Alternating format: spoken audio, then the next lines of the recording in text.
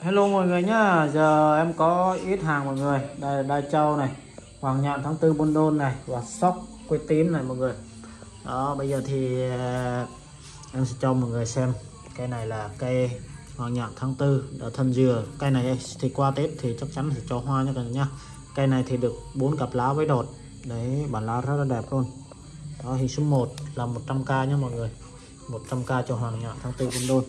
Hình số 2 300k cho 12 cây 12 cây gì đấy mọi người. Đây, một cây. Cây mẹ thì đã gãy rồi mọi người một cây con ra và sinh sôi này nở, phát triển thêm nha mọi người. Đây, một cây. Cây thứ hai.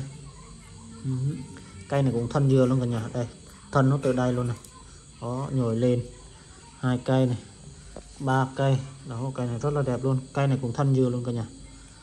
Ba cây này, bốn cây đó, cây này thì còn tơ này. Đó, 5 cây. Cây này cũng khá là đẹp luôn này. Đó, 6 cây.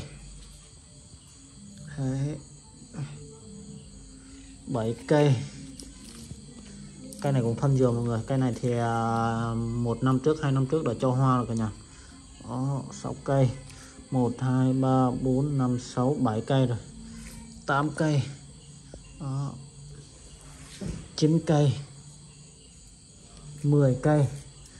10 cây nguyên bán nha cả nhà 10 cây nguyên bán và hai cây rồi đây bản lá rất là đẹp luôn.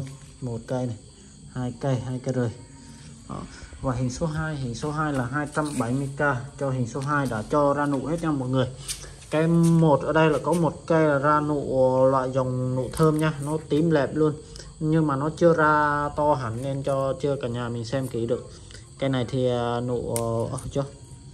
À, màu xanh xanh gọi là màu như như cái lá cái thân dừa này cả nhà. Đấy cái này thân dừa luôn nha. Đó cái này một khúc này. Khúc thứ hai. Khúc cây này là bông uh, tím này cả nhà. Bông loại bông thơm này. Tại vì nó chưa bung hẳn nên em không xác định được 100% nó mới nhú ra đoạn này thôi. Đó cái này bản la cũng khá ok luôn này. Đó bám còn bám một rễ hai rễ thôi nha cả nhà nhá. Đó. khúc thứ hai này khúc thứ ba khúc này thì chất lượng luôn. Khúc này cũng đang bung nụ luôn cả nhà nha đấy cũng đang bung nụ luôn. Đấy. Mở luôn. Và hình số cuối cùng là hình số 4 hình số 4 là 100k trong một cây sóc này. Khá là tuyệt vời luôn mọi người. Cây sóc thì chín lá. Đó phải lá đọt. Chín lá rất là đẹp luôn. Tinh tướng luôn cả nhà. Đấy một khúc này sóc này. Khúc thứ hai cũng sóc. Cái này thì cũng bám uh, một hai cái rễ thôi cả nhà đó, vỏ cây này. Cây thì khá là to nhưng mà nó lên nó không chất được cây như cây đầu tiên. Đấy. Và cây món thứ hai đó là quế tím. Đấy quế tím khá là ok luôn cả nhà. À, một khúc này. Hai khúc này. Đấy, hai khúc quế tím. Và hai cây rời quế tím luôn mọi người. Đấy, hai cây quế tím rời luôn thân dừa và Itamet xin chào tất toàn thể các bác. Cô chú anh chị của mình nha mọi người chốt đơn nào thì alo cho em hoặc là nhắn tin bên Zalo nhá. Cảm ơn tất cả mọi người nhá.